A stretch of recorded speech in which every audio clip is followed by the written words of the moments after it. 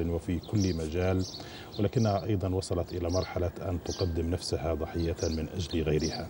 هذا ما حدث مع المربية الفاضلة المرحومة علاء الجولاني التي كانت مع الطلاب في جبع.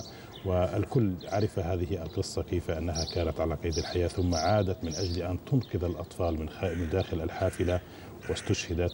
هذا طبعا هذه القضية كانت لها أثر كبير في نفوس الجميع والكل يردد اسم هذه المربية التي يجب أن يرفع اسمها ويوضع أو تسمى باسمها ليس فقط مدارس إنما أكثر من ذلك طبعا نزولا عند رغبة الكثير الكثير ولما قدمته من ضحية في سبيل أطفال كانت تعتبرهم كأبنائها.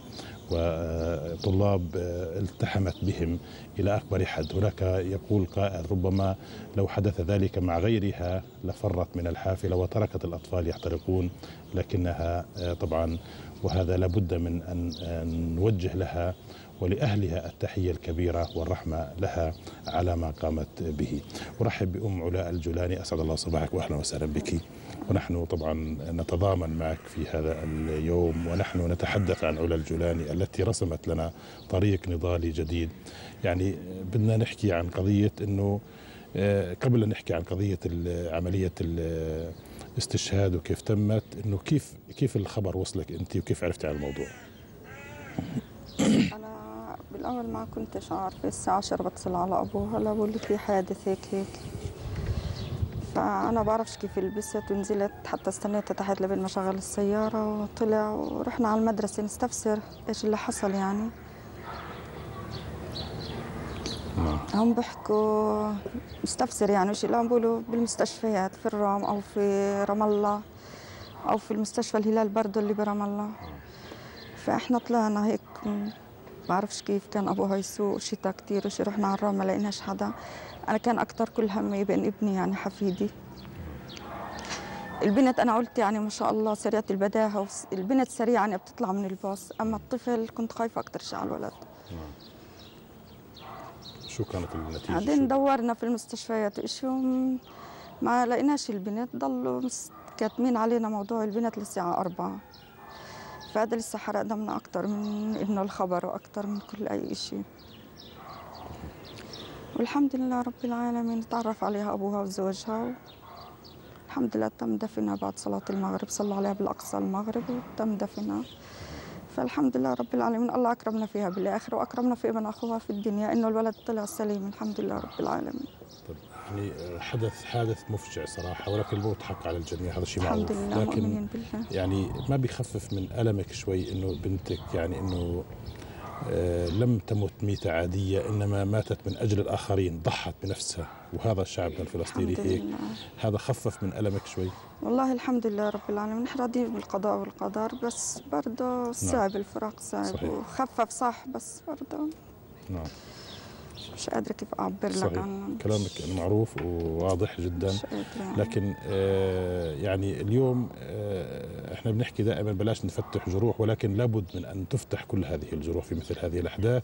يعني لو مثلا إنه الحافله كان فيها مثلا آه، مساعدين برافقوا الرحلة آه، رجال آه، أنا عارف آه، مساندين حراس ما إلى ذلك إطفائيات كان ربما كان الحال أكثر بدل من المعلمه انها هي اللي تقوم وتدخل في الباص تطلع أطفال. صح وضخم أصلا كل الحادث ضخم. يعني حادث كان قضاء وقدر بس ضخم فيش آليات فيش معدات فيش سياره إسعاف يعني أقل الاضعف إنه سياره اطفائيه تكون أو نعم. يعني هو الحادث قضاء وقدر بس تضخم كثير لأنه فيش معدات فيش مساعدين فيش وإحنا الشعب الفلسطيني تعودنا ان يعني كيف بدي أقول لك نساعد نفسنا بنفسنا. فصار الشباب اللي تكاثروا على هالف- الحافله وشيء. ما قدروش يعني يساعدوا أكثر من هيك عندنا تقصير يعني واضح إنه في كثير تقصير كان كثير أصلا أصلا لازم كمان اطفائيات المواسير الاطفائيات يعني ما يحتاجوش إنه السيارة تمرق من بين كل الناس يمدوا بربيج على الأقل يعني أضعف الإيمان هذا نعم. كما هو حاصل في بيساعد كثير من- كثير. خاصة هاي المنطقة لأنه منطقة حواجز محصورة لازم. بالرام مثلا يحطوا معدات برام الله في يعني الأماكن القريبة من هذا الشارع خاصة هذا الشارع يعني كثير فيه بصير حوادث مش أول حادث كثير اللي سقطوا ضحايا في هذا اليوم. أطفال صغار يعني الكل كان بينتظرهم يروحوا على بيوتهم. فجأة بيصلهم الخبر أن أولادهم قضوا في هذا الحادث. يعني كأم يعني فقدتي ابنتك في هذا الحادث. ربما على العكس غيرها غيرها مثلا انحرقوا في الباص لكن هي كانت أجت تضحي بنفسها من أجل مساعدة الآخرين. هل عندكم مثلا نوع من المحاسبة وربما أكثر من العتاب على المسؤولين في هذا الموضوع؟ أكثر أكثر بكثير أكثر من عتاب بكثير يعني هي حاولت تساعد بقدر الإمكان يعني قدر المستطاع. لو طفوا الحريقة يمكن ما ما فقدوش الأهالي أولادهم هالقد يعني. كان أقل ضرر بيكون.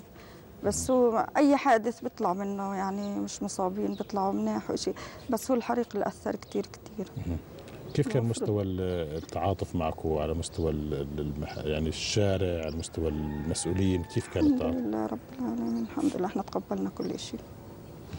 الحمد لله.